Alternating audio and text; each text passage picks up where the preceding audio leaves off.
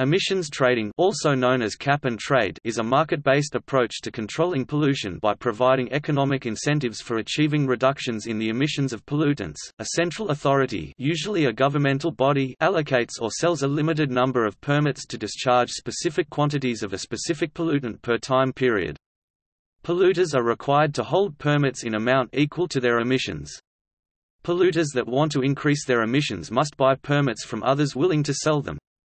Financial derivatives of permits can also be traded on secondary markets. Various countries, states, and groups of companies have adopted such trading systems, notably for mitigating climate change, in contrast to command and control environmental regulations such as best available technology standards and government subsidies. Cap and trade programs are a type of flexible environmental regulation that allows organizations to decide how best to meet policy targets. There are active trading programs in several air pollutants. For greenhouse gases, which cause climate change, permit units are often called carbon credits. The largest greenhouse gases GHG trading program is the European Union Emission Trading Scheme, which trades primarily in European Union allowances EUAs. .The Californian scheme trades in California carbon allowances, the New Zealand scheme in New Zealand units and the Australian scheme in Australian units. The United States has a national market to reduce acid rain and several regional markets in nitrogen oxides. Recent reduction in California's GHG emissions are not attributed to carbon trading but to other factors such as renewable portfolio standards and energy efficiency policies. The cap in California has been and continues to be larger than actual emission rates. GHG emissions increased at more than half of industrial point sources regulated by California's Cap and Trade program from 2013 to 2015. In theory, polluters who can reduce emissions most cheaply will do so, achieving the emission reduction at the lowest cost to society. Cap and trade is meant to provide the private sector with the flexibility required to reduce emissions while stimulating technological innovation and economic growth. In practice the theory can fall short, Environmental hotspots arise and impact areas nearest pollution sources when credits are purchased in lieu of emission reductions. Low income neighborhoods and people of color tend to be located near large industrial point sources and suffer adverse health and welfare effects disproportionately. In addition to environmental justice issues, historically cap and trade policy is not as effective as performance standards for reducing air pollutant emissions. For example, sulfur dioxide SO2 emissions and acidic sulfate deposition decreased to a larger extent more rapidly in Europe than in the United States over similar time periods with Europe employing traditional control approaches compared to the US subsidized market approach.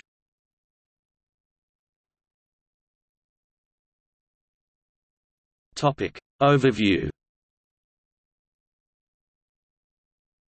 Pollution is a prime example of a market externality, an externality is an effect of some activity on an entity such as a person that is not party to a market transaction related to that activity.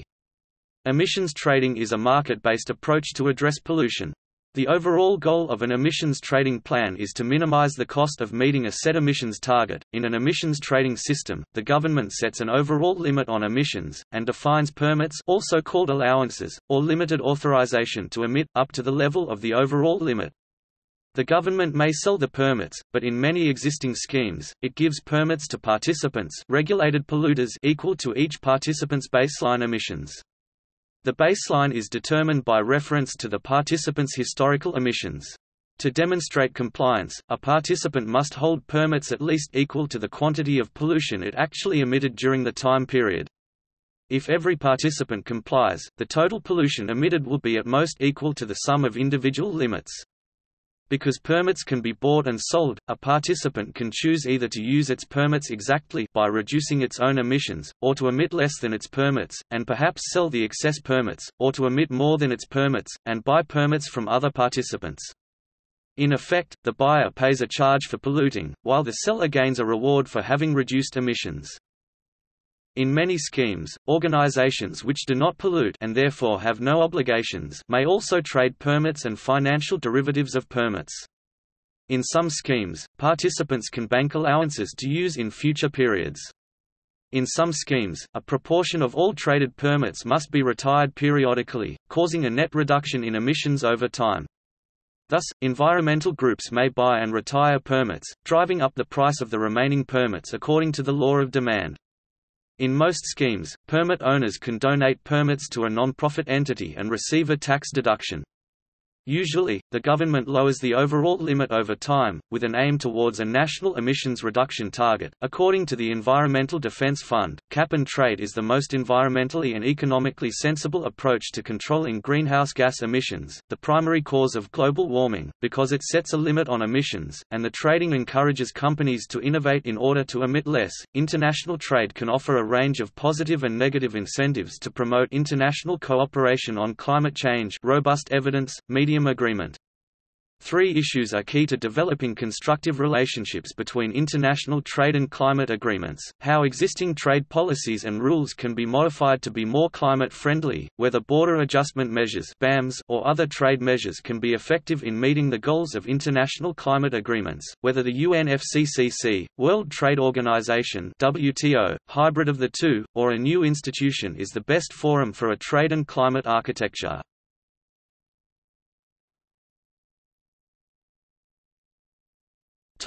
History The international community began the long process towards building effective international and domestic measures to tackle GHG emissions carbon dioxide, methane, nitrous oxide, hydrofluorocarbons, perfluorocarbons, sulfur hexafluoride in response to the increasing assertions that global warming is happening due to man-made emissions and the uncertainty over its likely consequences. That process began in Rio de Janeiro in 1992, when 160 countries agreed the UN Framework Convention on Climate Change UNFCCC.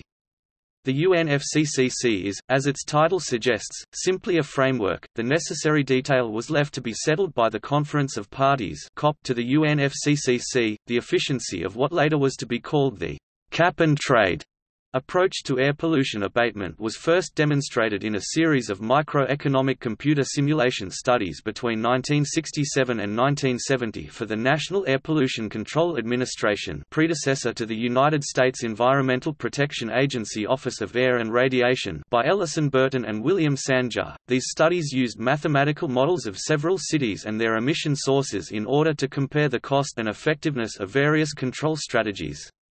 Each abatement strategy was compared with the least cost solution produced by a computer optimization program to identify the least costly combination of source reductions in order to achieve a given abatement goal. In each case it was found that the least cost solution was dramatically less costly than the same amount of pollution reduction produced by any conventional abatement strategy. Burton and later Sanjour along with Edward H. Pechan continued improving and advancing these computer models at the newly created U.S. Environmental Protection Agency. The agency introduced the concept of computer modeling with least cost abatement strategies i.e., emissions trading in its 1972 annual report to Congress on the cost of clean air. This led to the concept of cap and trade as a means of achieving the least cost solution for a given level of abatement. The development of emissions trading over the course of its history can be divided into four phases. Gestation, theoretical articulation of the instrument by Coase, Crocker, Dales, Montgomery etc. and, independent of the former, tinkering with «flexible regulation» at the U.S. Environmental Protection Agency. Proof of principle – first developments towards trading of emission certificates based on the «offset mechanism» taken up in Clean Air Act in 1977. A company could get allowance from the Act on a greater amount of emission when it paid another company to reduce the same pollutant. Prototype – launching of a first cap and trade system as part of the U.S. acid rain program in Title IV of the 1990 Clean Air Act, officially announced as a paradigm shift in environmental policy, as prepared by Project 88 a network-building effort to bring together environmental and industrial interests in the U.S. Regime formation, branching out from the U.S. clean air policy to global climate policy, and from there to the European Union, along with the expectation of an emerging global carbon market and the formation of the carbon industry. In the United States, the acid rain-related emission trading system was principally conceived by C. Boyden Gray, a GHW. Bush administration attorney. Gray worked with the Environmental Defense Fund (EDF), who worked with the EPA to write the bill that became law as part of the Clean Air Act of 1990. The new emissions cap on NOx and SO2 gases took effect in 1995, and according to Smithsonian Magazine, those acid rain emissions dropped 3 million tons that year. In 1997, the COP agreed, in what has been described as a watershed in international environmental treaty making, the Kyoto Protocol where 38 developed countries, Annex I countries committed themselves to targets and timetables for the reduction of GHGs. These targets for developed countries are often referred to as assigned amounts.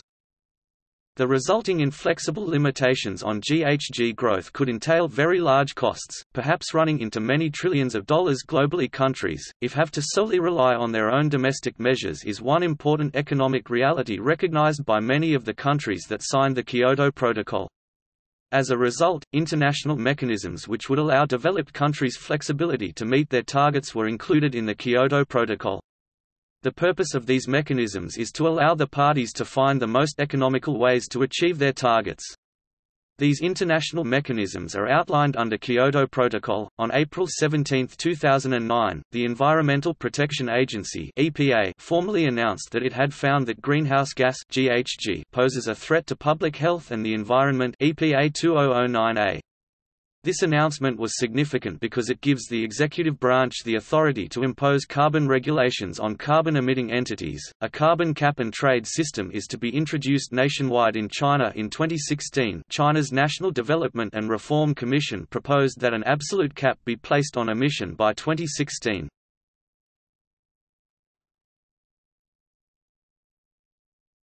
Topic: Market and least cost. Some economists have urged the use of market-based instruments such as emissions trading to address environmental problems instead of prescriptive command and control regulation. Command and control regulation is criticized for being insensitive to geographical and technological differences, and therefore inefficient. However, this is not always so, as shown by the WW2 rationing program in the US, in which local and regional boards made adjustments for these differences. After an emissions limit has been set by a government political process, individual companies are free to choose how or whether to reduce their emissions. Failure to report emissions and surrender emission permits is often punishable by a further government regulatory mechanism, such as a fine that increases costs of production. Firms will choose the least cost way to comply with the pollution regulation, which will lead to reductions where the least expensive solutions exist, while allowing emissions that are more expensive to reduce. Under an emissions trading system, each regulated polluter has flexibility to use the most cost-effective combination of buying or selling emission permits, reducing its emissions by installing cleaner technology, or reducing its emissions by reducing production. The most cost-effective strategy depends on the polluter's marginal abatement cost and the market price of permits. In theory, a polluter's decisions should lead to an economically efficient allocation of reductions among polluters, and lower compliance costs for individual firms and for the economy overall, compared to command and control mechanisms.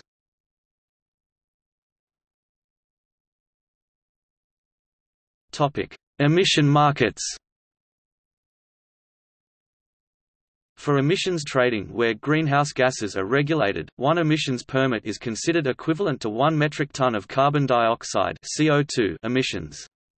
Other names for emissions permits are carbon credits, Kyoto units, assigned amount units, and certified emission reduction units CER. These permits can be sold privately or in the international market at the prevailing market price. These trade and settle internationally, and hence allow permits to be transferred between countries. Each international transfer is validated by the United Nations Framework Convention on Climate Change UNFCCC. Each transfer of ownership within the European Union is additionally validated by the European Commission. Emissions trading programs such as the European Union Emissions Trading System complement the country-to-country -country trading stipulated in the Kyoto Protocol by allowing private trading of permits.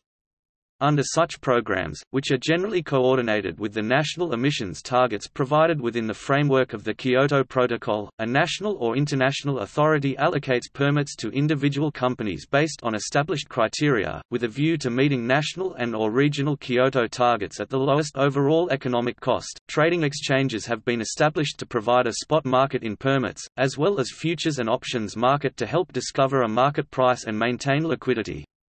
Carbon prices are normally quoted in euros per ton of carbon dioxide or its equivalent CO2e. Other greenhouse gases can also be traded, but are quoted as standard multiples of carbon dioxide with respect to their global warming potential. These features reduce the quota's financial impact on business, while ensuring that the quotas are met at a national and international level. Currently, there are six exchanges trading in UNFCCC-related carbon credits, the Chicago Climate Exchange until 2010, European Climate Exchange, Nasdaq OMX Commodities Europe, PowerNext, Commodity Exchange Bratislava and the European Energy Exchange. Nasdaq OMX Commodities Europe listed a contract to trade offsets generated by a CDM carbon project called Certified Emission Reductions. Many companies now engage in emissions abatement, offsetting, and sequestration programs to generate credits that can be sold on one of the exchanges. At least one private electronic market has been established in 2008, Cantorco 2e. Carbon credits at Commodity Exchange Bratislava are traded at special platform called Carbon Place. Trading in emission permits is one of the fastest growing segments in financial services in the City of London with a market estimated to be worth about 30 billion euros in 2007. Louis Redshaw, head of environmental markets at Barclays Capital, predicts that carbon will be the world's biggest commodity market, and it could become the world's biggest market overall.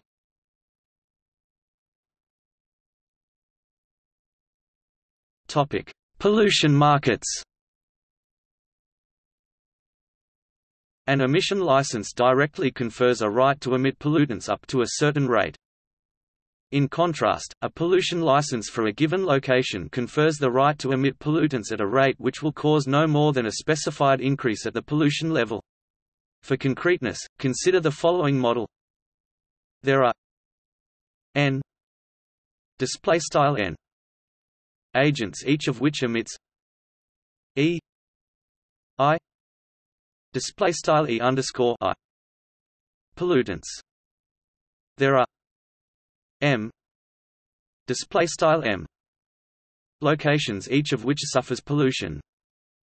Q I display style Q underscore I the pollution is a linear combination of the emissions. The relation between E display style E and Q display style Q is given by a diffusion matrix. H display style H such that Q equals H E display style Q equals H C D O T E as an example, consider three countries along a river as in the fair river sharing setting. Pollution in the upstream country is determined only by the emission of the upstream country. Q 1 equals E 1 display style Q underscore 1 equals E underscore 1 Pollution in the middle country is determined by its own emission and by the emission of country 1 q 2 equals e 1 plus e 2 display style q underscore 2 equals e underscore 1 plus e underscore 2 pollution in the downstream country is the sum of all emissions. Q 3 equals e 1 plus E two plus E three Display style q underscore three equals e underscore one plus e underscore two plus e underscore three. So the matrix H display style H in this case is a triangular matrix of ones. Each pollution license for location display style I permits its holder to emit pollutants that will cause at most this level of pollution at location I display style I Therefore, a polluter that affects water quality at a number of points has to hold a portfolio of licenses covering all relevant monitoring points. In the above example, if Country 2 wants to emit a unit of pollutant, it should purchase two permits, one for location 2 and one for location 3. Montgomery shows that, while both markets lead to efficient license allocation, the market in pollution licenses is more widely applicable than the market in emission licenses.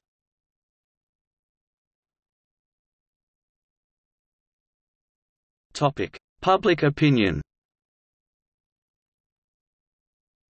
In the United States, most polling shows large support for emissions trading often referred to as cap and trade. This majority support can be seen in polls conducted by Washington Post, ABC News, Zogby International and Yale University. A new Washington Post-ABC poll reveals that majorities of the American people believe in climate change, are concerned about it, are willing to change their lifestyles and pay more to address it, and want the federal government to regulate greenhouse gases. They are, however, ambivalent on cap and trade. More than three quarters of respondents, 77.0%, reported they strongly support 51.0% or somewhat support 26.0% the EPA's decision to regulate carbon emissions. While 68.6% of respondents reported being very willing, 23.0% or somewhat willing, 45.6%, another 26.8% reported being somewhat unwilling, 8.8% or not at all willing 18.0% to pay higher prices for green energy sources to support funding for programs that reduce the effect of global warming. According to PolitiFact, it is a misconception that emissions trading is unpopular in the United States because of earlier polls from Zogby International and Rasmussen which misleadingly include new taxes in the questions. Taxes aren't part of emissions trading or high energy cost estimates.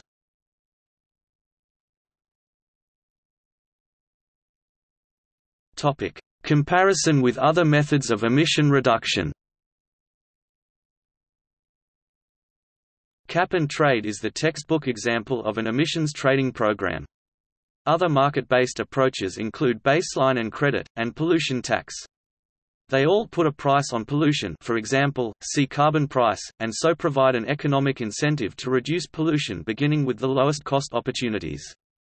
By contrast, in a command and control approach, a central authority designates pollution levels each facility is allowed to emit. Cap and trade essentially functions as a tax where the tax rate is variable based on the relative cost of abatement per unit, and the tax base is variable based on the amount of abatement needed.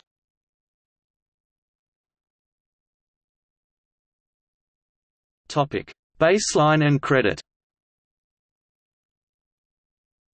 In a baseline and credit program, polluters can create permits, called credits or offsets, by reducing their emissions below a baseline level, which is often the historical emissions level from a designated past year. Such credits can be bought by polluters that have a regulatory limit.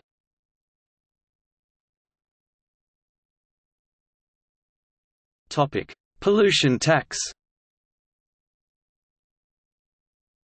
Emissions fees or environmental tax is a surcharge on the pollution created while producing goods and services. For example, a carbon tax is a tax on the carbon content of fossil fuels that aims to discourage their use and thereby reduce carbon dioxide emissions. The two approaches are overlapping sets of policy designs. Both can have a range of scopes, points of regulation, and price schedules. They can be fair or unfair, depending on how the revenue is used both have the effect of increasing the price of goods such as fossil fuels to consumers. A comprehensive, upstream, auctioned cap and trade system is very similar to a comprehensive, upstream carbon tax. Yet, many commentators sharply contrast the two approaches. The main difference is what is defined and what derived. A tax is a price control, while cap and trade method acts is a quantity control instrument. That is, a tax is a unit price for pollution that is set by authorities, and the market determines the quantity emitted. In cap and trade, authorities determine the amount of pollution, and the market determines the price. This difference affects a number of criteria, responsiveness to inflation, cap and trade has the advantage that it adjusts to inflation changes to overall prices automatically, while emissions fees must be changed by regulators. Responsiveness to cost changes, it is not clear which approach is better. It is possible to combine the two into a safety valve price, a price set by regulators, at which polluters can buy additional permits beyond the cap. Responsiveness to recessions – This point is closely related to responsiveness to cost changes, because recessions cause a drop in demand.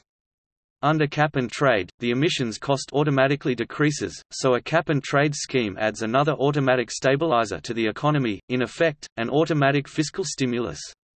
However, a lower pollution price also results in reduced efforts to reduce pollution.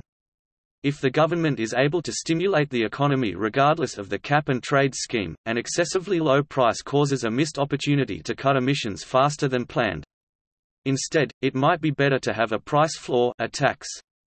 This is especially true when cutting pollution is urgent, as with greenhouse gas emissions. A price floor also provides certainty and stability for investment in emissions reductions. Recent experience from the UK shows that nuclear power operators are reluctant to invest on UN subsidized terms unless there is a guaranteed price floor for carbon which the EU emissions trading scheme does not presently provide. Responsiveness to uncertainty, as with cost changes, in a world of uncertainty, it is not clear whether emissions fees or cap-and-trade systems are more efficient. It depends on how fast the marginal social benefits of reducing pollution fall with the amount of cleanup e.g., whether inelastic or elastic marginal social benefit schedule. Other, the magnitude of the tax will depend on how sensitive the supply of emissions is to the price. The permit price of cap and trade will depend on the pollutant market. A tax generates government revenue, but full auctioned emissions permits can do the same. A similar upstream cap and trade system could be implemented. An upstream carbon tax might be the simplest to administer. Setting up a complex cap and trade arrangement that is comprehensive has high institutional needs.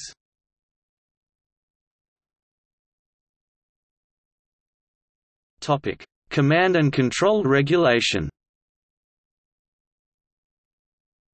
Command and control is a system of regulation that prescribes emission limits and compliance methods for each facility or source. It is the traditional approach to reducing air pollution. Command and control regulations are more rigid than incentive-based approaches such as pollution fees and cap and trade. An example of this is a performance standard which sets an emissions goal for each polluter that is fixed and, therefore, the burden of reducing pollution cannot be shifted to the firms that can achieve it more cheaply. As a result, performance standards are likely to be more costly overall. The additional costs would be passed to end consumers.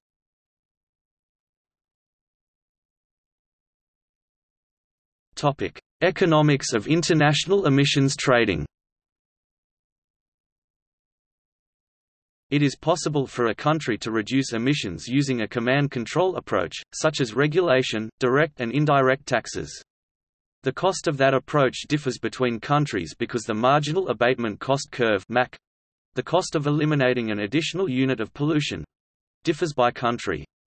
It might cost China $2 to eliminate a ton of CO2, but it would probably cost Norway or the US much more. International emissions trading markets were created precisely to exploit differing MACs.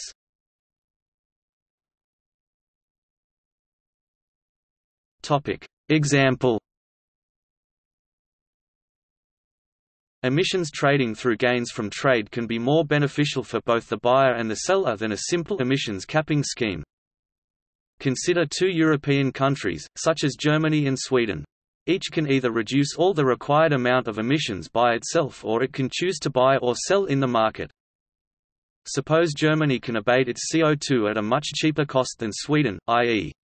MACS greater than MACG where the MAC curve of Sweden is steeper higher slope than that of Germany, and RREQ is the total amount of emissions that need to be reduced by a country. On the left side of the graph is the MAC curve for Germany. RREQ is the amount of required reductions for Germany, but at RREQ the MACG curve has not intersected the market emissions permit price of CO2 market permit price. Topic P lambda. Thus, given the market price of CO2 allowances, Germany has potential to profit if it abates more emissions than required. On the right side is the MAC curve for Sweden.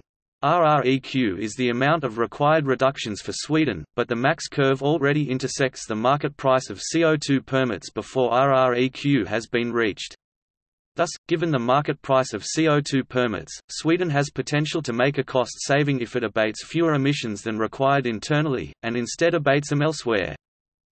In this example, Sweden would abate emissions until its MACS intersects with P at R**, but this would only reduce a fraction of Sweden's total required abatement. After that it could buy emissions credits from Germany for the price P per unit, the internal cost of Sweden's own abatement, combined with the permits it buys in the market from Germany, adds up to the total required reductions RREQ for Sweden. Thus Sweden can make a saving from buying permits in the market delta DEF. This represents the gains from trade, the amount of additional expense that Sweden would otherwise have to spend if it abated all of its required emissions by itself without trading. Germany made a profit on its additional emissions abatement, above what was required, it met the regulations by abating all of the emissions that was required of it RREQ.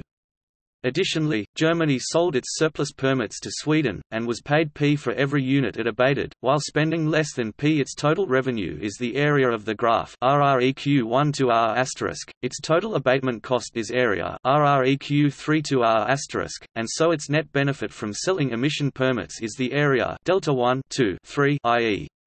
gains from trade, the 2R on both graphs represent the efficient allocations that arise from trading. Germany, sold R RREQ emission permits to Sweden at a unit price P. Sweden bought emission permits from Germany at a unit price P if the total cost for reducing a particular amount of emissions in the command control scenario is called X, then to reduce the same amount of combined pollution in Sweden and Germany, the total abatement cost would be less in the emissions trading scenario i.e. X delta 123 delta def the example above applies not just at the national level, but also between two companies in different countries, or between two subsidiaries within the same company.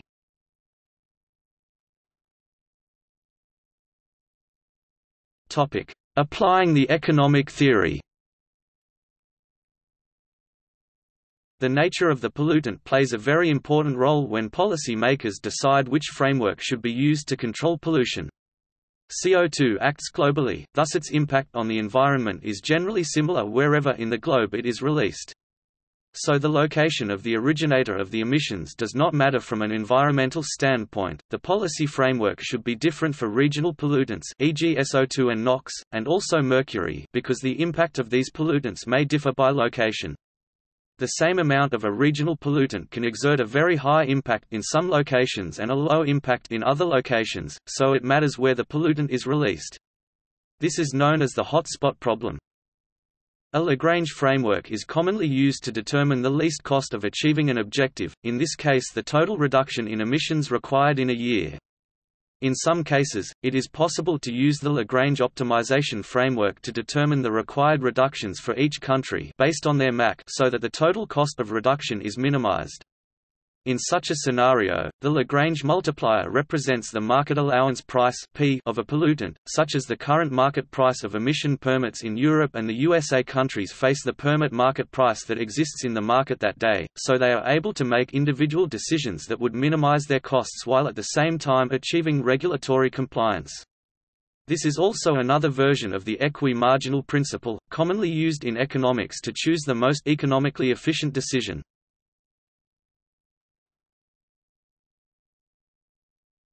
Topic: Prices versus quantities, and the safety valve.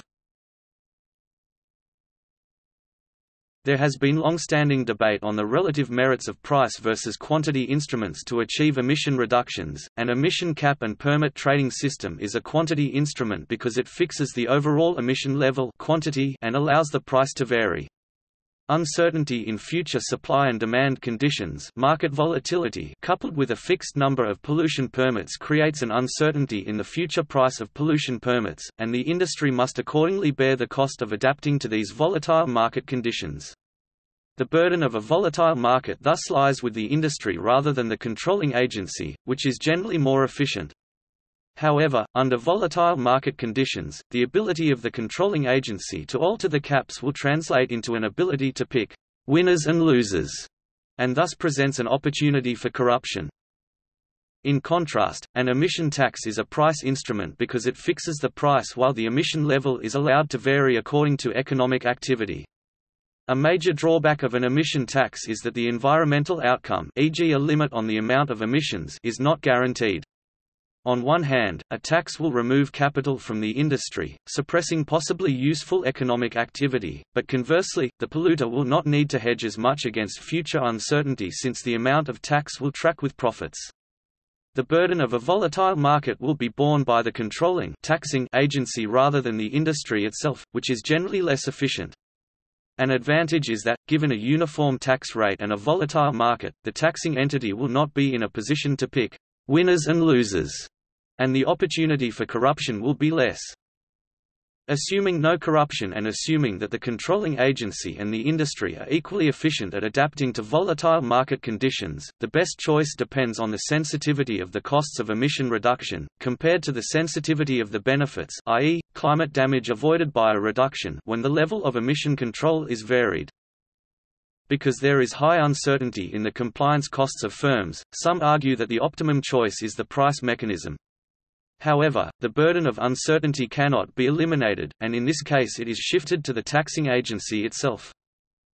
The overwhelming majority of climate scientists have repeatedly warned of a threshold in atmospheric concentrations of carbon dioxide beyond which a runaway warming effect could take place, with a large possibility of causing irreversible damage. With such a risk, a quantity instrument may be a better choice because the quantity of emissions may be capped with more certainty.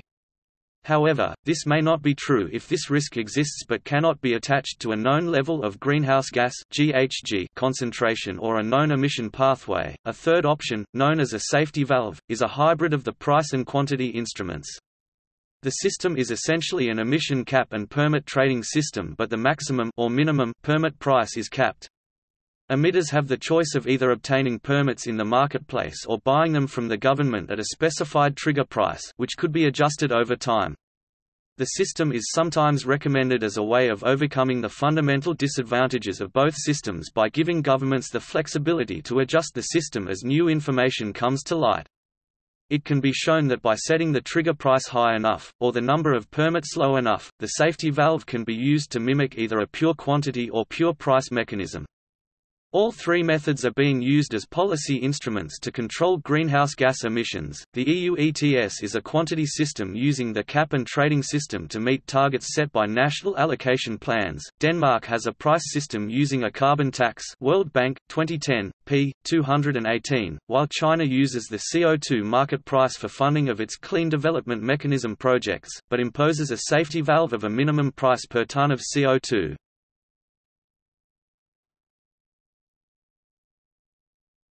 Topic: Carbon leakage. Carbon leakage is the effect that regulation of emissions in one country, sector has on the emissions in other countries, sectors that are not subject to the same regulation. There is no consensus over the magnitude of long-term carbon leakage. In the Kyoto Protocol, Annex I countries are subject to caps on emissions, but non-Annex I countries are not. Barker et al. 2007 assessed the literature on leakage.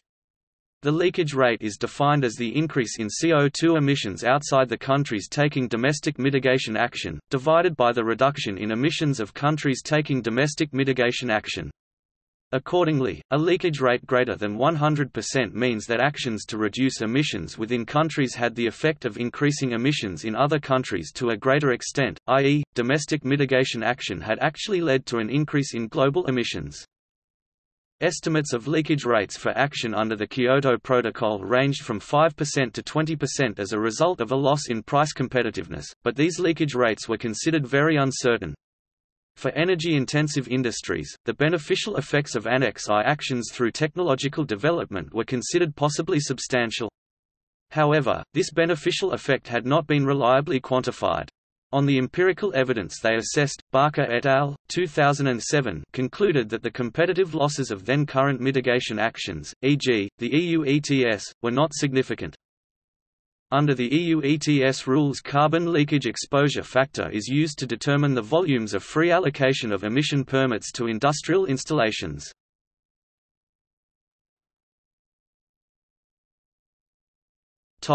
Trade To understand carbon trading, it is important to understand the products that are being traded. The primary product in carbon markets is the trading of GHG emission permits. Under a cap-and-trade system, permits are issued to various entities for the right to emit GHG emissions that meet emission reduction requirement caps. One of the controversies about carbon mitigation policy is how to level the playing field with border adjustments. For example, one component of the American Clean Energy and Security Act a 2009 bill that did not pass, along with several other energy bills put before U.S. Congress, calls for carbon surcharges on goods imported from countries without cap-and-trade programs. Besides issues of compliance with the General Agreement on Tariffs and Trade, such border adjustments presume that the producing countries bear responsibility for the carbon emissions. A general perception among developing countries is that discussion of climate change in trade negotiations could lead to green protectionism by high-income countries World Bank, 2010, p. 251. Tariffs on imports. Virtual carbon consistent with a carbon price of $50 per ton of CO2 could be significant for developing countries.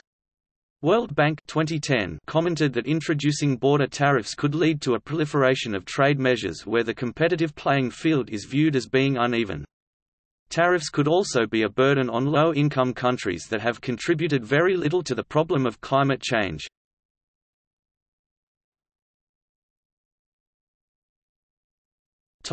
Trading systems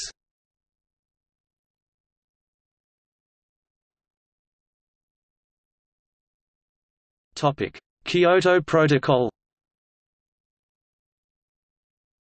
In 1990, the first Intergovernmental Panel on Climate Change IPCC report highlighted the imminent threat of climate change and greenhouse gas emission, and diplomatic efforts began to find an international framework within which such emissions could be regulated.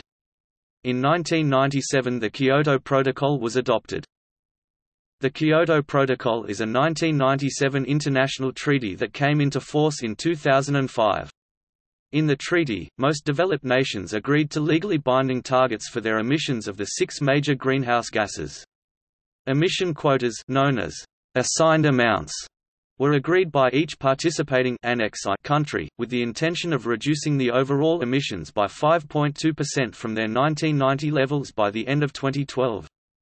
Between 1990 and 2012 the original Kyoto Protocol parties reduced their CO2 emissions by 12.5%, which is well beyond the 2012 target of 4.7%. The United States is the only industrialized nation under Annex I that has not ratified the treaty, and is therefore not bound by it. The IPCC has projected that the financial effect of compliance through trading within the Kyoto Commitment period will be limited at between 0.1 to 1.1% of GDP among trading countries. The agreement was intended to result in industrialized countries' emissions declining in aggregate by 5.2% below 1990 levels by the year of 2012.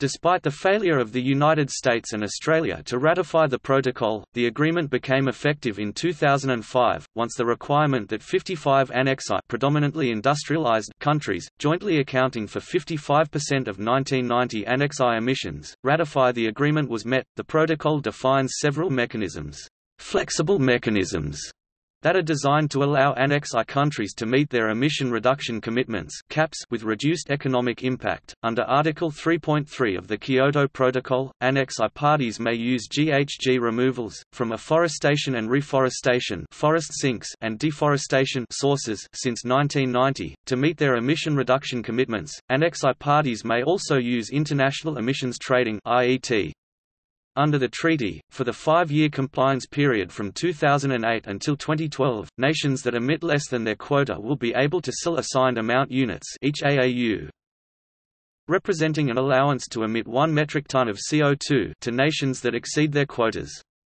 It is also possible for Annex I countries to sponsor carbon projects that reduce greenhouse gas emissions in other countries. These projects generate tradable carbon credits that can be used by Annex I countries in meeting their caps. The project-based Kyoto mechanisms are the Clean Development Mechanism (CDM) and Joint Implementation (JI). There are four such international flexible mechanisms, or Kyoto mechanism, written in the Kyoto Protocol. Article 17 If the protocol authorizes Annex I countries that have agreed to the emissions limitations to take part in emissions trading with other Annex I countries.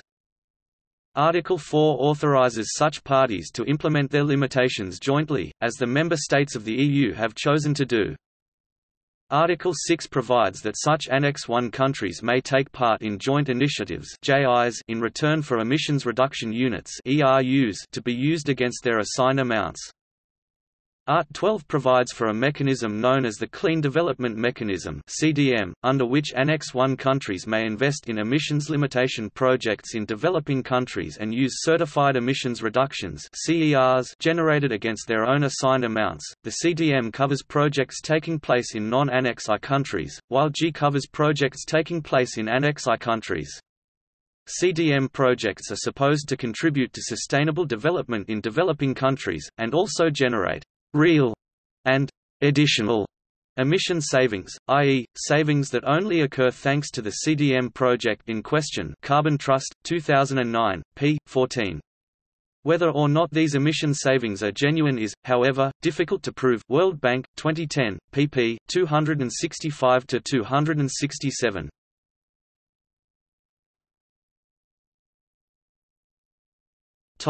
Australia In 2003 the New South Wales, New South Wales state government unilaterally established the New South Wales Greenhouse Gas Abatement Scheme to reduce emissions by requiring electricity generators and large consumers to purchase New South Wales Greenhouse Abatement Certificates NGACs. This has prompted the rollout of free energy-efficient compact fluorescent light bulbs and other energy efficiency measures, funded by the credits. This scheme has been criticized by the Center for Energy and Environmental Markets of the UNSW because of its lack of effectiveness in reducing emissions, its lack of transparency and its lack of verification of the additionality of emission reductions. Both the incumbent Howard coalition government and the Rudd Labour opposition promised to implement an emissions trading scheme (ETS) before the 2007 federal election. Labour won the election, with the new government proceeding to implement an ETS.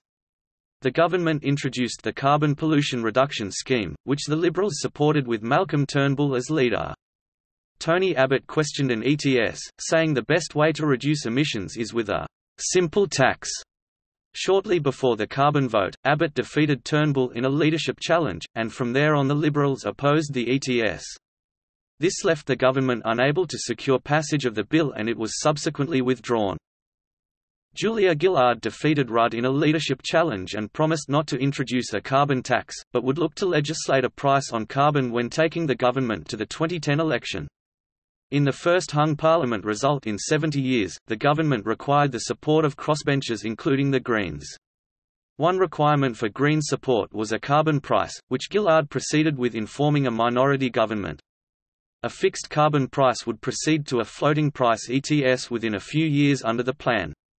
The fixed price lent itself to characterization as a carbon tax and when the government proposed the Clean Energy Bill in February 2011, the opposition claimed it to be a broken election promise. The bill was passed by the lower house in October 2011 and the upper house in November 2011. The Liberal Party vowed to overturn the bill if elected.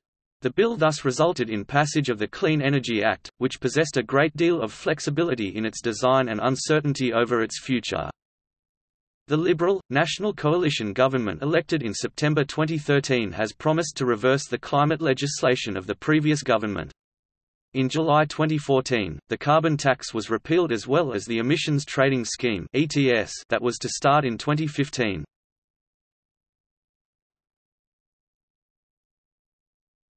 Topic: New Zealand The New Zealand Emissions Trading Scheme is a partial coverage all-free allocation uncapped highly internationally linked emissions trading scheme. The NZETS was first legislated in the Climate Change Response Emissions Trading Amendment Act 2008 in September 2008 under the fifth Labour government of New Zealand and then amended in November 2009 and in November 2012 by the fifth National Government of New Zealand. The NZETS covers forestry a net sink, energy 43.4% of total 2010 emissions, industry 6.7% of total 2010 emissions and waste 2.8% of total 2010 emissions but not pastoral agriculture 47% of 2010 total emissions. Participants in the NZETS must surrender two emissions units either an international Kyoto unit or a New Zealand-issued unit for every 3 tons of carbon dioxide equivalent emissions reported or they may choose to buy NZ units from the government at a fixed price of 25 New Zealand dollars. Individual sectors of the economy have different entry dates when their obligations to report emissions and surrender emission units take effect. Forestry, which contributed net removals of 17.5 mts of CO2e in 2010 19% of NZ's 2008 emissions, entered the NZETS on 1 January 2008. The stationary energy, industrial processes and liquid fossil fuel sectors entered the NZETS on 1 July 2010. The waste sector landfill operators entered on 1 January 2013. Methane and nitrous oxide emissions from pastoral agriculture are not included in the NZETS.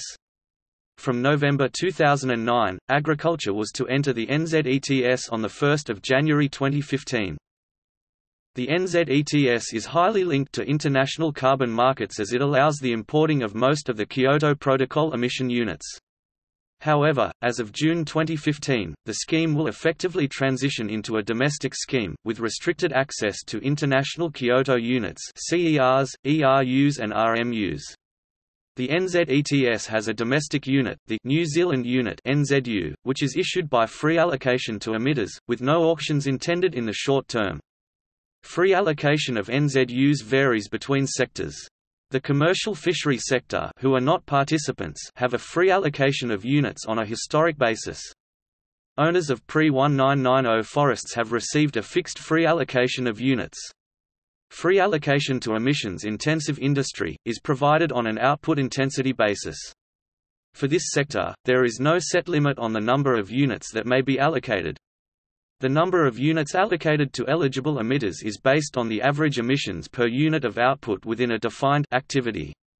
Bertram and Terry 2010, p16 state that as the NZETS does not cap emissions, the NZETS is not a cap-and-trade scheme as understood in the economics literature. Some stakeholders have criticised the New Zealand emissions trading scheme for its generous free allocations of emission units and the lack of a carbon price signal the Parliamentary Commissioner for the Environment, and for being ineffective in reducing emissions Greenpeace Aotearoa New Zealand. The NZETS was reviewed in late 2011 by an independent panel, which reported to the government and public in September 2011.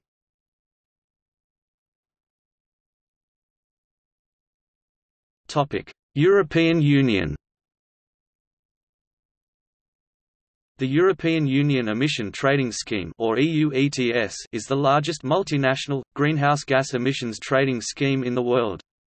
It is one of the EU's central policy instruments to meet their cap set in the Kyoto Protocol. After voluntary trials in the UK and Denmark, Phase 1 began operation in January 2005 with all 15 member states of the European Union participating.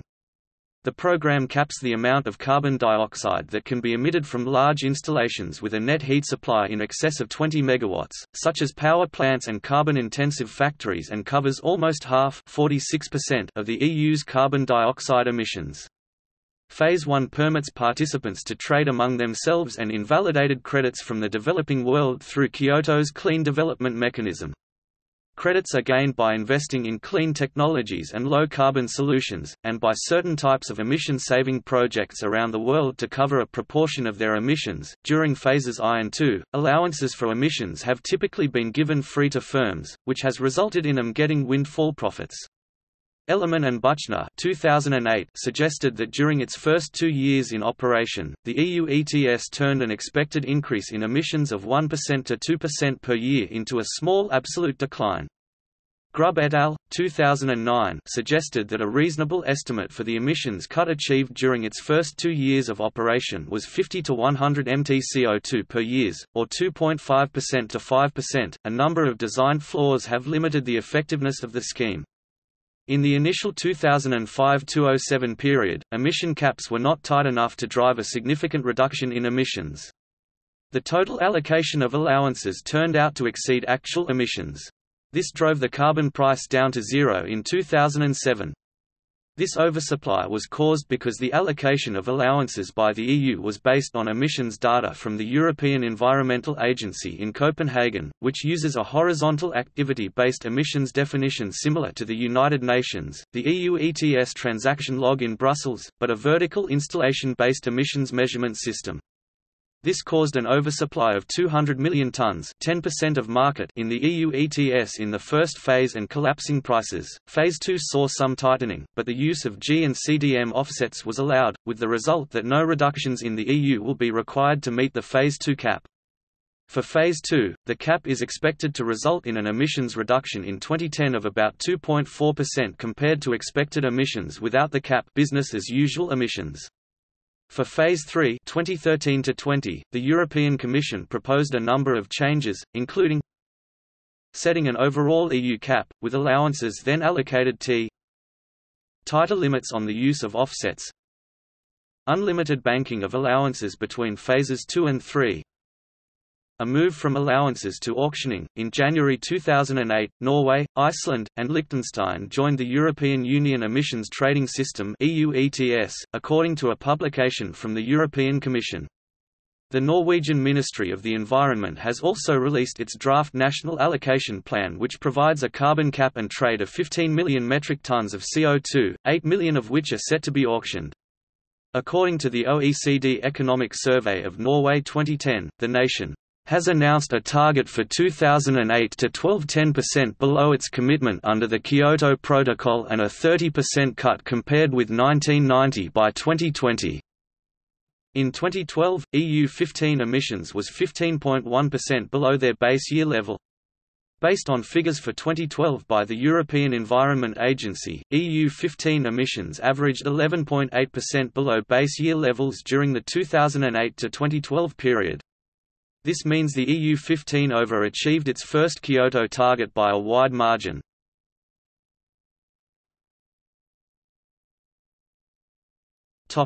Tokyo, Japan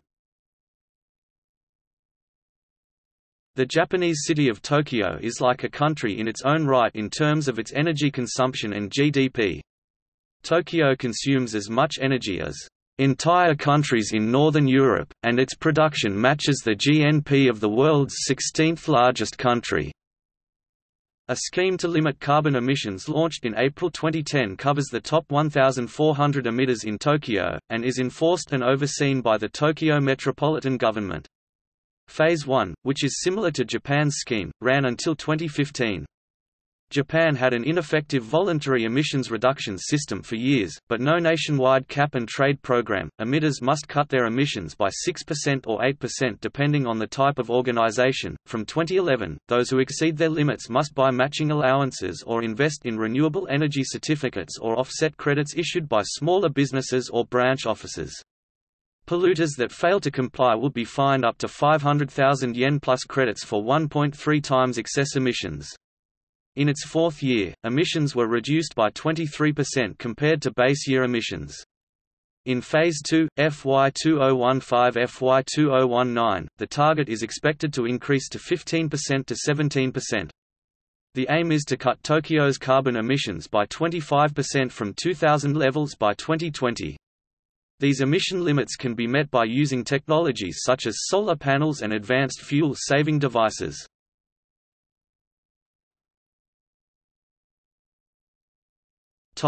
United States.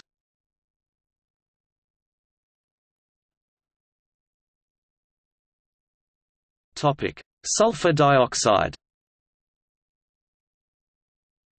An early example of an emission trading system has been the sulfur dioxide SO2 trading system under the framework of the Acid Rain program of the 1990 Clean Air Act in the U.S. Under the program, which is essentially a cap-and-trade emissions trading system, SO2 emissions were reduced by 50% from 1980 levels by 2007. Some experts argue that the cap-and-trade system of SO2 emissions reduction has reduced the cost of controlling acid rain by as much as 80% versus source-by-source reduction. The SO2 program was challenged in 2004, which set in motion a series of events that led to the 2011 Cross-State Air Pollution Rule CSAPR. Under the CSAPR, the National SO2 Trading Program was replaced by four separate trading groups for SO2 and NOx. SO2 emissions from acid rain program sources have fallen from 17.3 million tons in 1980 to about 7.6 million tons in 2008, a decrease in emissions of 56%. A 2014 EPA analysis estimated that implementation of the acid rain program avoided between 20,000 and 50,000 incidences of premature mortality annually due to reductions of ambient PM 2.5 concentrations, and between 430 and 2,000 incidences annually due to reductions of ground-level ozone.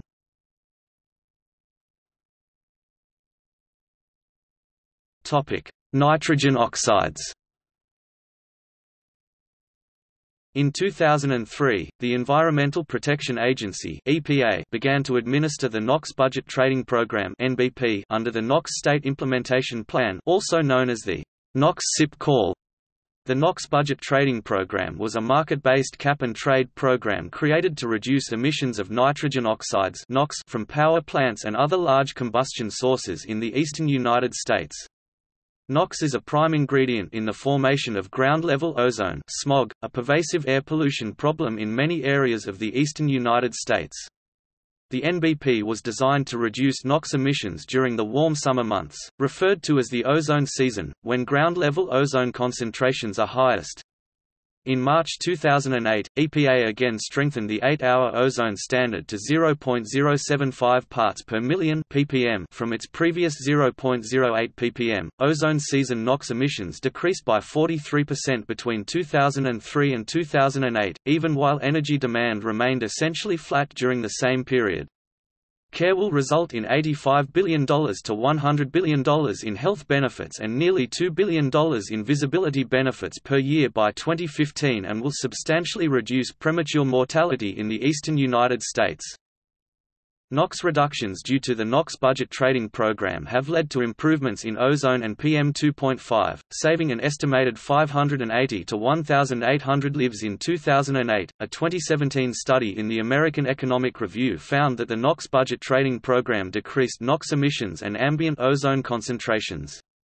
The program reduced expenditures on medicine by about 1.5% $800 million annually and reduced the mortality rate by up to 0.5% 2,200 fewer premature deaths, mainly among individuals 75 and older.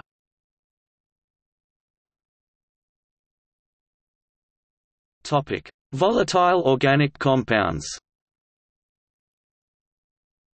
In the United States the Environmental Protection Agency EPA classifies volatile organic compounds VOCs as gases emitted from certain solids and liquids that may have adverse health effects. These VOCs include a variety of chemicals that are emitted from a variety of different products.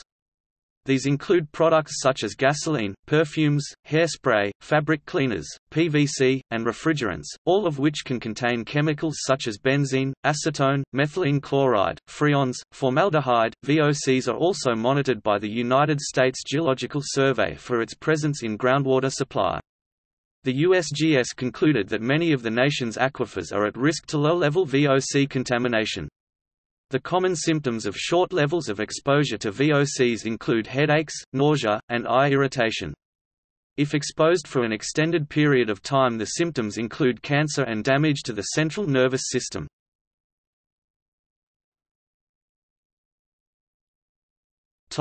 Greenhouse gases federal. As of 2017, there is no national emissions trading scheme in the United States. Failing to get congressional approval for such a scheme, President Barack Obama instead acted through the United States Environmental Protection Agency to attempt to adopt through rulemaking the Clean Power Plan, which does not feature emissions trading. The plan was subsequently challenged and is under review by the administration of President Donald Trump. Concerned at the lack of federal action, several states on the east and west coasts have created sub-national cap-and-trade programs. President Barack Obama in his proposed 2010 United States federal budget wanted to support clean energy development with a 10-year investment of 15 billion United States dollars per year, generated from the sale of greenhouse gas (GHG) emissions credits.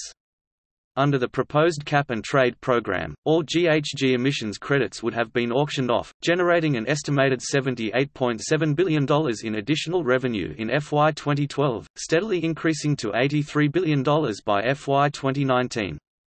The proposal was never made law. The American Clean Energy and Security Act HR 2454, a greenhouse gas cap and trade bill, was passed on 26 June 2009, in the House of Representatives by a vote of 219 to 212. The bill originated in the House Energy and Commerce Committee and was introduced by Representatives Henry A. Waxman and Edward J. Markey. The political advocacy organizations FreedomWorks and Americans for Prosperity, funded by brothers David and Charles Koch of Koch Industries, encouraged the Tea Party movement to focus on defeating the legislation. Although cap and trade also gained a significant foothold in the Senate via the efforts of Republican Lindsey Graham, Independent and former Democrat Joe Lieberman, and Democrat John Kerry, the legislation died in the Senate.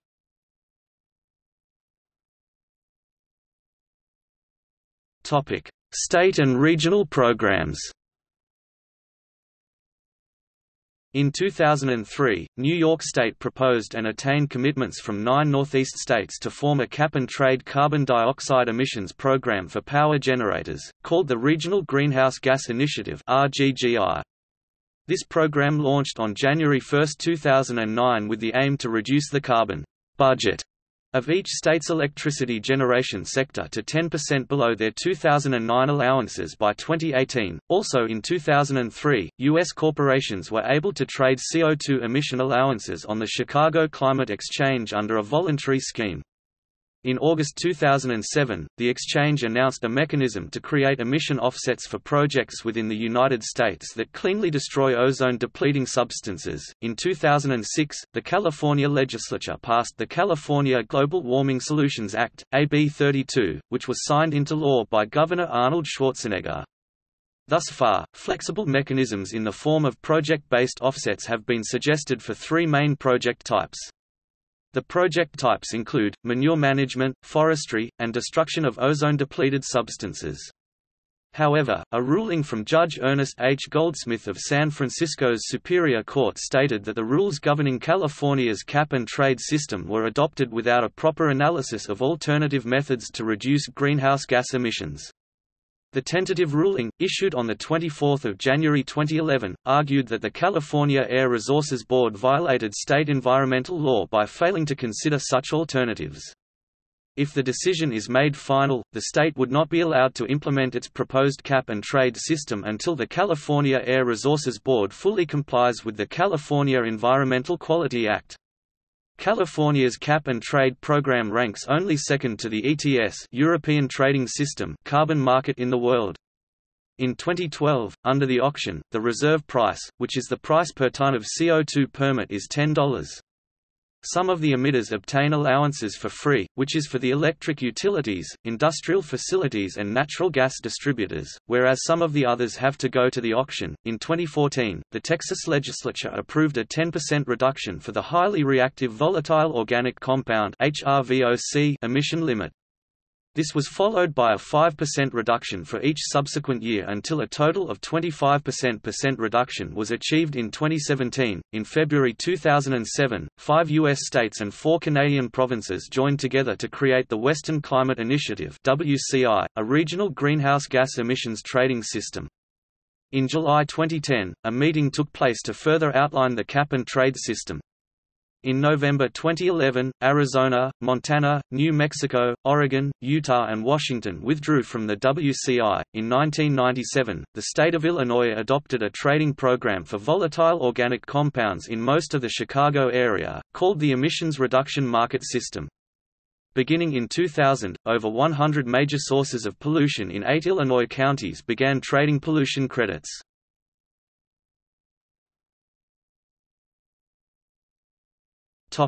South Korea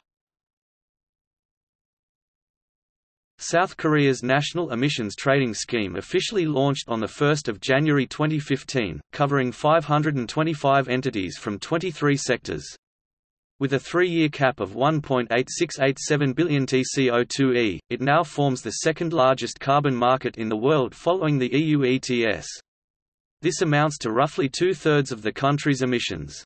The Korean Emissions Trading Scheme is part of the Republic of Korea's efforts to reduce greenhouse gas emissions by 30% compared to the business as usual scenario by 2020.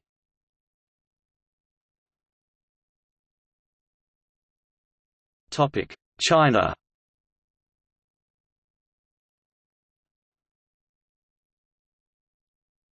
Topic: Pollution permit trading.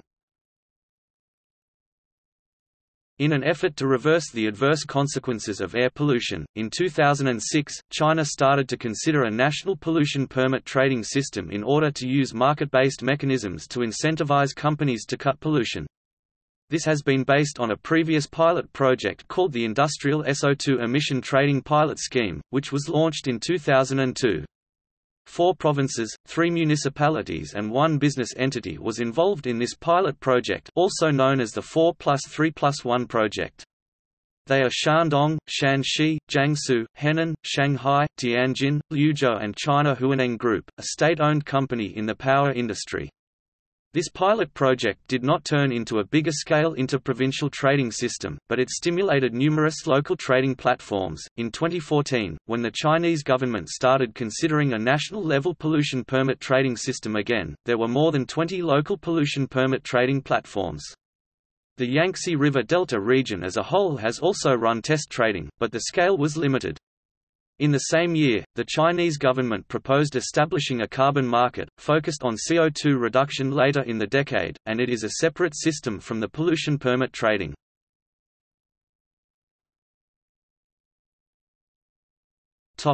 carbon market China currently emits about 30% of global emission, and it became the largest emitter in the world. When the market launched, it will be the largest carbon market in the world. The initial design of the system targets a scope of 3.5 billion tons of carbon dioxide emissions that come from 1,700 installations. It has made a voluntary pledge under the UNFCCC to lower CO2 per unit of GDP by 40 to 45% in 2020 when comparing to the 2005 levels. In November 2011, China approved pilot tests of carbon trading in seven provinces and cities Beijing, Chongqing, Shanghai, Shenzhen, Tianjin, as well as Guangdong Province and Hubei Province, with different prices in each region. The pilot is intended to test the waters and provide valuable lessons for the design of a national system in the near future. Their successes or failures will, therefore, have far-reaching implications for carbon market development in China in terms of trust in a national carbon trading market. Some of the pilot regions can start trading as early as 2013-2014. National trading is expected to start in 2017, latest in 2020. The effort to start a national trading system has faced some problems that took longer than expected to solve, mainly in the complicated process of initial data collection to determine the base level of pollution emission. According to the initial design, there will be eight sectors that are first included in the trading system, chemicals, petrochemicals, iron and steel, non-ferrous metals, building materials, paper, power and aviation, but many of the companies involved lacked consistent data. Therefore, by the end of 2017, the allocation of emission quotas have started but it has been limited to only the power sector and will gradually expand, although the operation of the market is yet to begin. In this system, companies that are involved will be asked to meet target level of reduction and the level will contract gradually.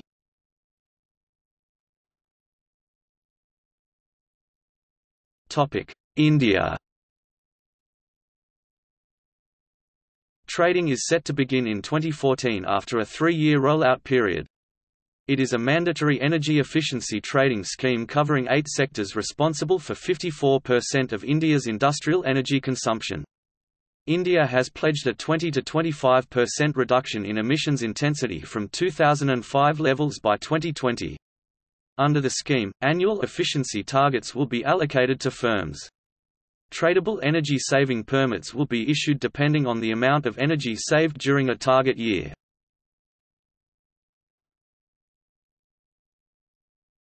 Topic: Renewable energy certificates.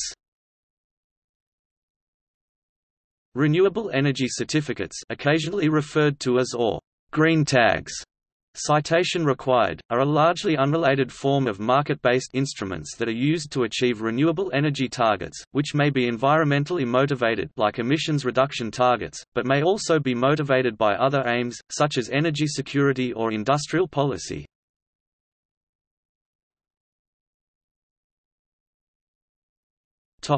Carbon market. Carbon emissions trading is emissions trading specifically for carbon dioxide calculated in tons of carbon dioxide equivalent or TCO2e and currently makes up the bulk of emissions trading. It is one of the ways countries can meet their obligations under the Kyoto Protocol to reduce carbon emissions and thereby mitigate global warming.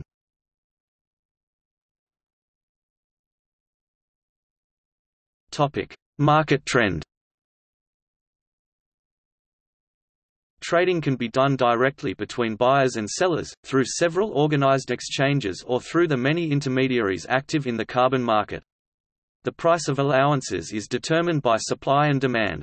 As many as 40 million allowances have been traded per day. In 2012, 7.9 billion allowances were traded with a total value of 56 billion euros. Carbon emissions trading declined in 2013, and is expected to decline in 2014. According to the World Bank's Carbon Finance Unit, 374 million metric tons of carbon dioxide equivalent (TCO2e) were exchanged through projects in 2005, a 240% increase relative to 2004, 110 mTCO2e, which was itself a 41% increase relative to 2003, 78 mTCO2e. Global carbon markets have shrunk in value by 60% since 2011, but are expected to rise again in 2014. In terms of dollars, the World Bank has estimated that the size of the carbon market was 11 billion United States dollars in 2005, 30 billion dollars in 2006, and 64 billion dollars in 2007. The Marrakesh Accords of the Kyoto Protocol defined the international trading mechanisms and registries needed to support trading between countries. Sources can buy or sell allowances on the open market. Because the total number of allowances is limited by the cap, emission reductions are assured. Allowance trading now occurs between European countries and Asian countries. However, while the U.S. as a nation did not ratify the protocol, many of its states are developing cap-and-trade systems and considering ways to link them together, nationally and internationally, to find the lowest costs and improve liquidity of the market. However, these states also wish to preserve their individual integrity and unique features. For example, in contrast to other Kyoto-compliant systems, some states propose other types of greenhouse gas sources, different measurement methods, setting a maximum on the price of allowances, or restricting access to CDM projects. Creating instruments that are not fungible exchangeable could introduce instability and make pricing difficult. Various proposals for linking these systems across markets are being investigated, and this is being coordinated by the International Carbon Action Partnership ICAP.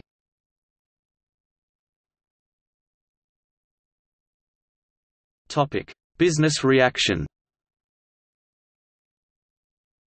In 2008, Barclays Capital predicted that the new carbon market would be worth $70 billion worldwide that year. The voluntary offset market, by comparison, is projected to grow to about $4 billion by 2010.23 multinational corporations came together in the G8 Climate Change Roundtable, a business group formed at the January 2005 World Economic Forum. The group included Ford, Toyota, British Airways, BP and Unilever. On June 9, 2005 the group published a statement stating the need to act on climate change and stressing the importance of market-based solutions. It called on governments to establish clear, transparent, and consistent price signals through creation of a long-term policy framework that would include all major producers of greenhouse gases.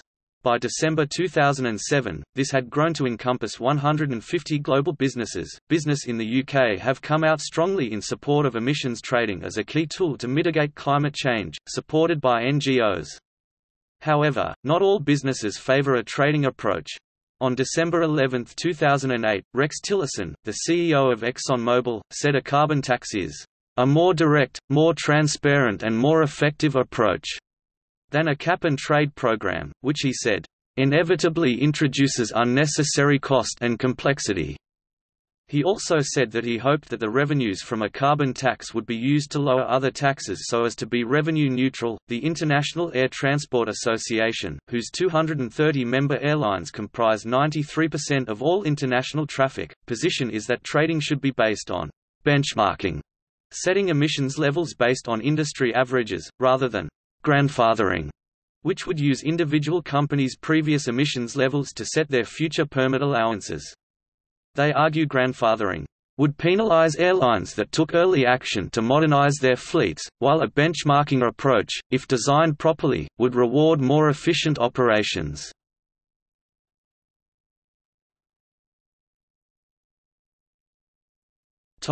Measuring, reporting, verification Assuring compliance with an emissions trading scheme requires measuring, reporting and verification MRV. Measurements are needed at each operator or installation. These measurements are reported to a regulator. For greenhouse gases, all trading countries maintain an inventory of emissions at national and installation level. In addition, trading groups within North America maintain inventories at the state level through the Climate Registry. For trading between regions, these inventories must be consistent, with equivalent units and measurement techniques. In some industrial processes, emissions can be physically measured by inserting sensors and flowmeters in chimneys and stacks, but many types of activity rely on theoretical calculations instead of measurement. Depending on local legislation, measurements may require additional checks and verification by government or third-party auditors, prior or post-submission to the local regulator.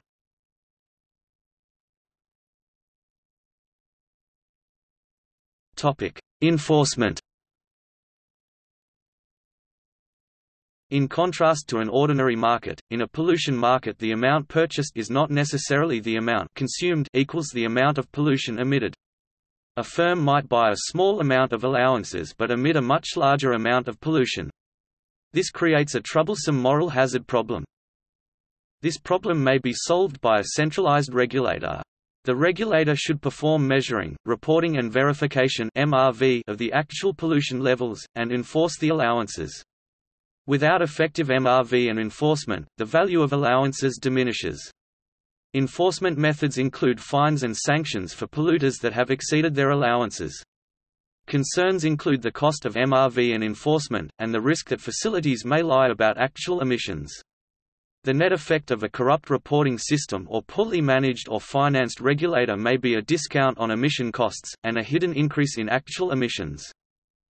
According to Nordhaus, strict enforcement of the Kyoto Protocol is likely to be observed in those countries and industries covered by the EU ETS. Ellerman and Buchner commented on the European Commission's EC's role in enforcing scarcity of permits within the EU ETS. This was done by the ECs reviewing the total number of permits that member states proposed that their industries be allocated. Based on institutional and enforcement considerations, Kruger et al. suggested that emissions trading within developing countries might not be a realistic goal in the near term.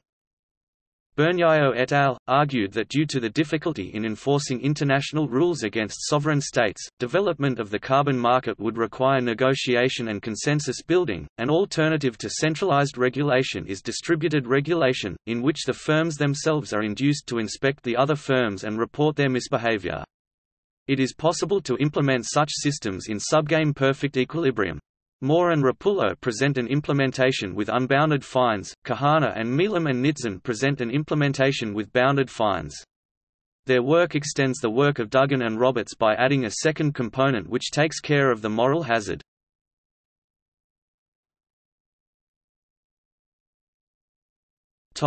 Criticism Emissions trading has been criticized for a variety of reasons. For example, in the popular science magazine New Scientist, Lohmann 2006 argued that trading pollution allowances should be avoided as a climate stabilization policy for several reasons.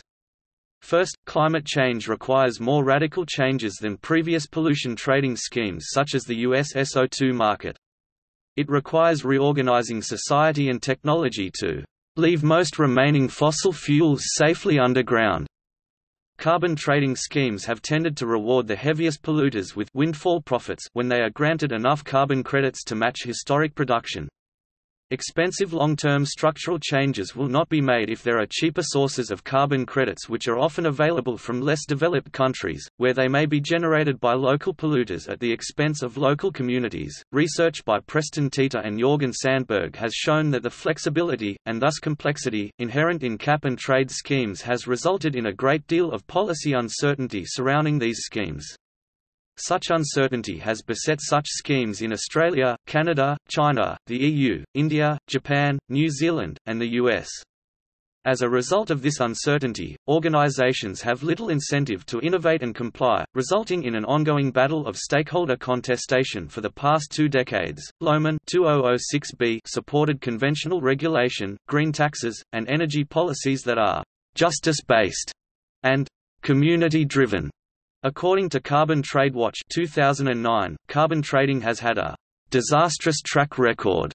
The effectiveness of the EU ETS was criticized, and it was argued that the CDM had routinely favored environmentally ineffective and socially unjust projects.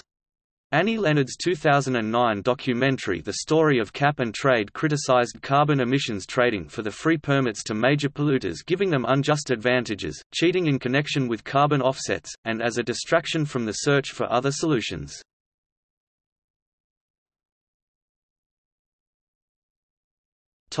Offsets Forest campaigner Jutta Kill 2006 of European environmental group Fern argued that offsets for emission reductions were not substitute for actual cuts in emissions. Kill stated that carbon in trees is temporary. Trees can easily release carbon into the atmosphere through fire, disease, climatic changes, natural decay and timber harvesting.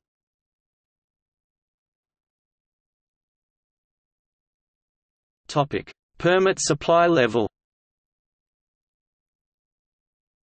Regulatory agencies run the risk of issuing too many emission credits, which can result in a very low price on emission permits. This reduces the incentive that permit liable firms have to cut back their emissions. On the other hand, issuing too few permits can result in an excessively high permit price. This an argument for a hybrid instrument having a price floor, i.e., a minimum permit price, and a price ceiling, i.e., a limit on the permit price. However, a price ceiling safety value removes the certainty of a particular quantity limit of emissions.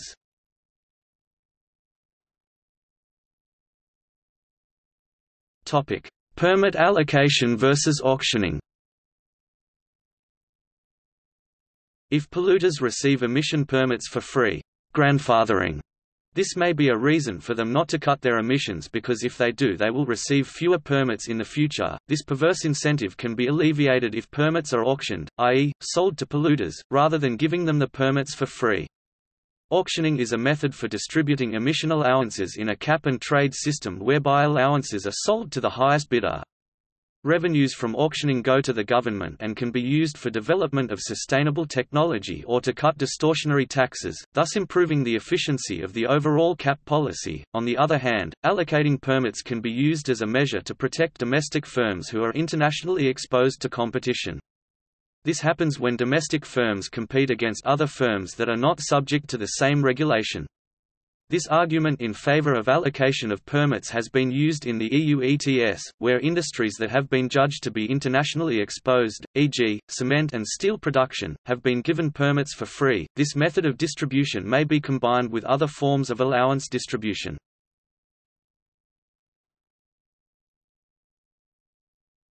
Topic: Distributional effects. The U.S. Congressional Budget Office CBO, 2009 examined the potential effects of the American Clean Energy and Security Act on U.S. households. This act relies heavily on the free allocation of permits. The bill was found to protect low-income consumers, but it was recommended that the bill be made more efficient by reducing welfare provisions for corporations, and more resources be made available for consumer relief.